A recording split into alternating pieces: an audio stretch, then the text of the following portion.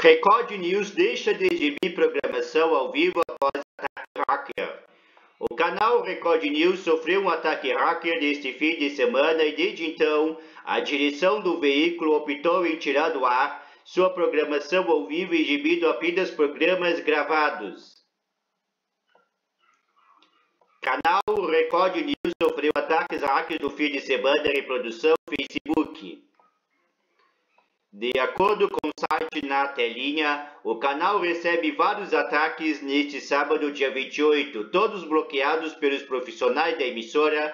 A retirada da programação ao vivo é uma precaução até que a segurança do sistema da Record News esteja garantida.